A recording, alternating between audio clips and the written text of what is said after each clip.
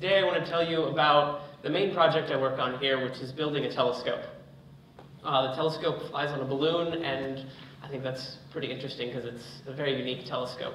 So the thing we want to study with this telescope are regions in the galaxy that look a lot like this. This is an image usually called the pillars of creation because it shows these large dust pillars that are forming many, many stars. The problem with this image is we can't see inside the dust columns, we can only see the surface, and so you can't see the very youngest stars in the earliest stages of formation. So what I'd like to do is have a telescope that can peer inside and learn more about those earliest stars. Now, if I'm going to build a telescope, one of the first things I have to decide is where can I put it? One option, of course, is space. Uh, this is the Hubble Space Telescope. You may recognize it. But telescopes in space have a very high budget. The Hubble Space Telescope costs about $2.5 billion to make, uh, whereas a telescope that flies on a balloon usually has a much lower budget, somewhere around $10 million. And so, and that's about the budget of the telescope that I work on. So we can build, actually, for the budget of one Hubble, we could build about 250 balloon-borne telescopes. This is a picture of the telescope I work on called BLAST. It was this was a picture of it uh, a few years ago when it was in Antarctica, right before launch. You notice the size, it's actually pretty large. The people at the bottom um, are much smaller than it. It probably would go all the way up to the ceiling if it were in this room. And right after launch, it looks more like this. So you notice that the whole structure on the left is very small at the bottom of the image on the right. And so the balloon that carries this, this telescope up is also enormous. The balloon, as it rises through the atmosphere, actually swells to about the size of a football stadium, and it stops rising when it gets to about 100,000 feet, which is two to three times higher than a plane that you might take. And the view up there looks about like this. This is a picture taken uh, on another balloon-borne telescope. As you can see, you're above most of the atmosphere the number is about 99% of the atmosphere is below the balloon. So you get really great views of space that you could never get from the ground because all the atmosphere is on the way, in the way when you're on the ground. Uh, you may have noticed that all the pictures I've shown you of these telescopes so far have a lot of snow around. And that's because we take these telescopes to Antarctica. You might wonder, well, there's atmosphere everywhere. You can fly a balloon everywhere. Why would you bother to take it all the way down to Antarctica? The first reason for that is this. This is a, a visualization of the winds in Antarctica.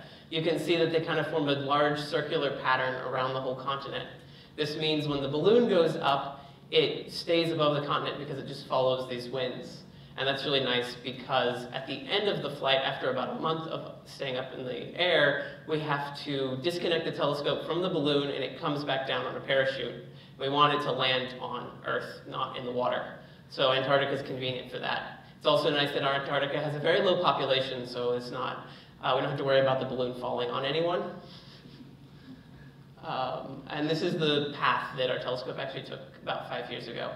So it's been about 10 days travel, traveling around Antarctica and then came back down and we collected it. This next time when we go, we're hoping that the telescope will stay up for a whole month.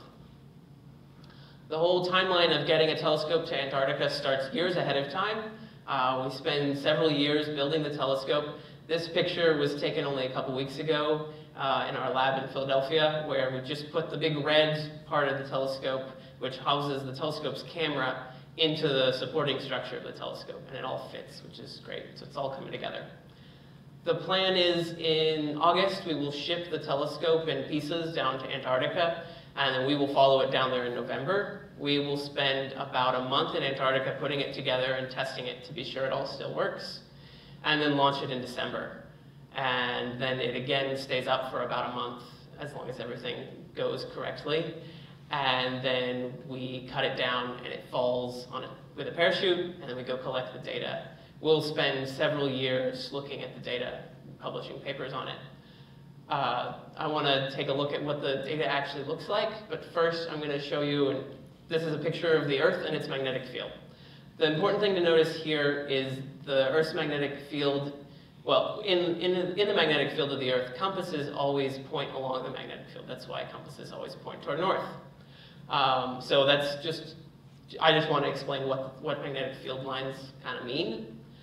This is a picture like what we would take with our telescope. So the colors here are showing where there's a lot of material and where that material is bright and forming stars. So the darker regions that are kind of red are very bright and the blue regions are very dim.